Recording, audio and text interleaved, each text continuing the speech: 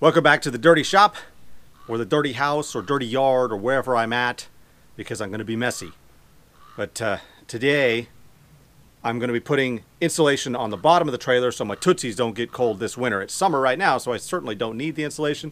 But when it gets cooler, uh, and it's you know September, so we're creeping into the cold months, it'll be nice to have our feet stay warmer. So the idea is I'm going to cut out sections of this insulated foam paneling, and I'm going to glue them onto the bottom of the trailer with liquid nails, interior, exterior, the heavy duty kind, because I want it to be as strong as I can.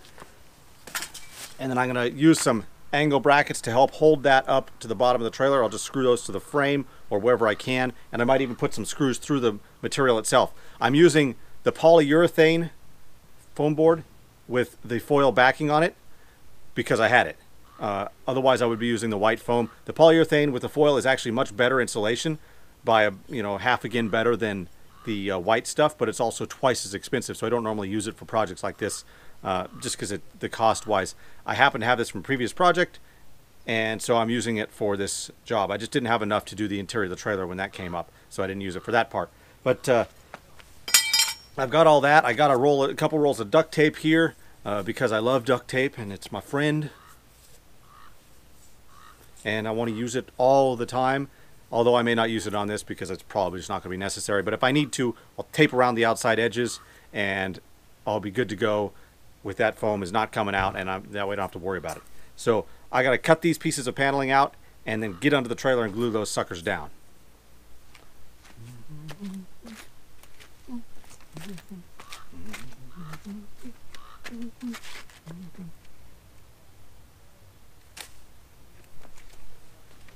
Warning. This video may contain scenes of extreme untidiness. Viewer discretion is advised.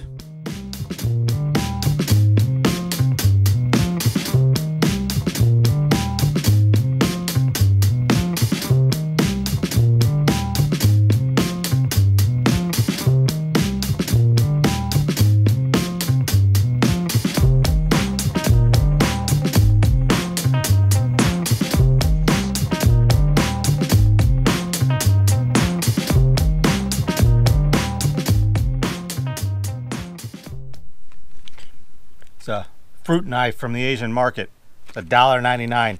These, these knives make great utility knives for things like cutting this insulation foam. The blades are thin, relatively stiff, and they're cheap. They also have these cool covers on them. So, uh, works out well. So why buy an expensive knife when you can use one of these? Works pretty good for me.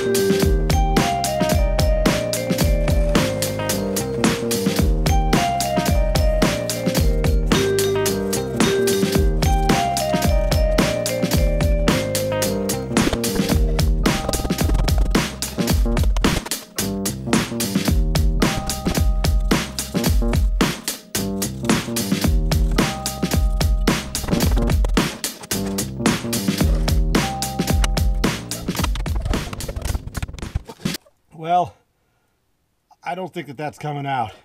Even if I don't put brackets or even glue on it, I think that sucker would stay in there. So hopefully that'll hold it up. I'm gonna cut these other ones just slightly smaller so it's not so much work. Jeez.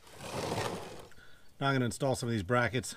Gonna use these self-tapping screws to hopefully be able to attach them to these. This is pretty thick stuff, so we'll see.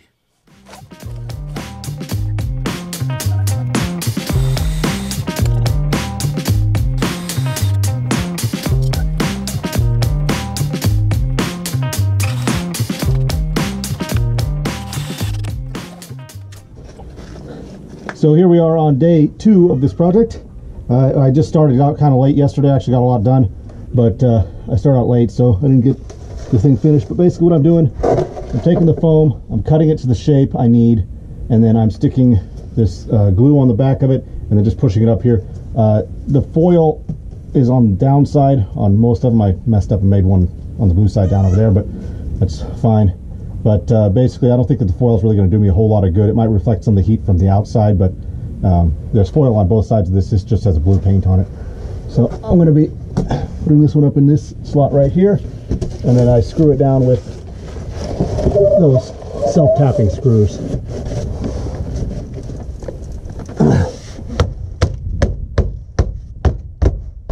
Okay, and now that I've got that up there, I'm going to get my my jack and I'm going to put the some pressure on it and hold it up.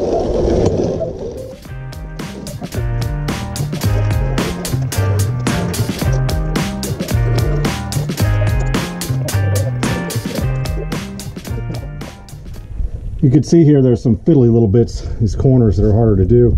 I do have my electrical in here. Um, so it's going to be a little hard to get the piece of insulation to go in.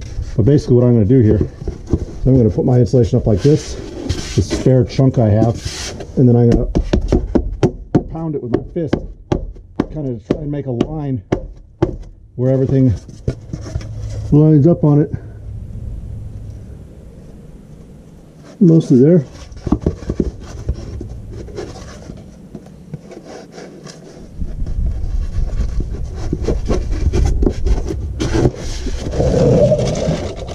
This will hopefully make a spot. Hopefully this will mark it well enough that I can cut a piece out of it. Because here we are starting on the back.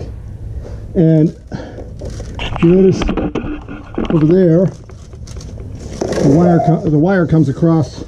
So I'm having to cut smaller pieces to go under the wire portion.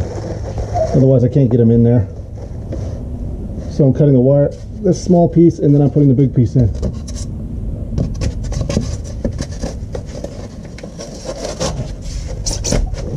That.